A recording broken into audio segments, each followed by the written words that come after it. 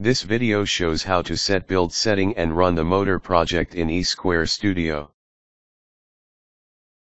To set the build environment, right-click on the project, select Properties. See C++ Build Settings.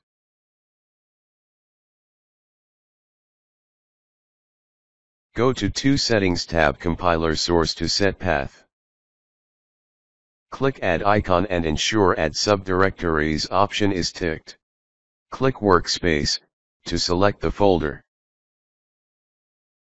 Under SRC folder, select Demo, Lib, and Motor Module folders. Click OK to proceed, the folders and subdirectories are included. Next, select Linker. Input. Click Add icon. Click Workspace. Go to Motor Project. SRC. Lib. ICS to add ICSRX24T.obj. Go to Motor Project. SRC. Motor Module. Lib to add all.obj files.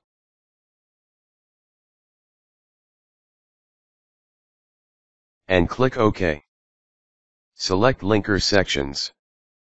Click button to edit section. Click add section, change section name to BDTCTBL. Move BDTCTBL to the top and change address to hex value 0. Assign address hex value 400 to section B underscore 1, move down SU and SI under section name R. Click OK. Select Library Generator Standard Library. Take math.h, C88C99. Click Apply and Close to proceed. Set focus to the motor project and click Build icon.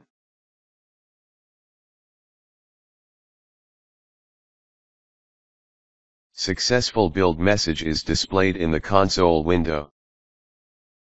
Attach RX24T CPU card to the inverter board. Use E2 Lite emulator to connect CPU card and PC. An external power supply unit, 24 VDC, 2 ampere or higher, should be used in this project. Select Run. Debug configurations. Click on Motor Project Hardware Debug, click the Debugger tab and select Connection Settings tab. Do the following settings. Main clock source, Xtal. Xtal frequency MHz, 10 MHz.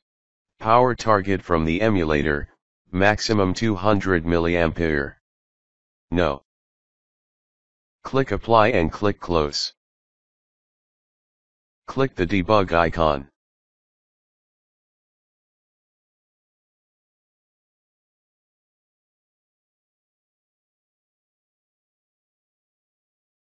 Open the debug perspective.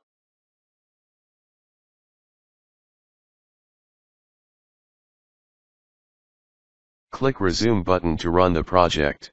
Use VR1 on the inverter board to rotate the motor. When the motor rotates, LED 1 on RX24T board and LED 1 on inverter board will turn on.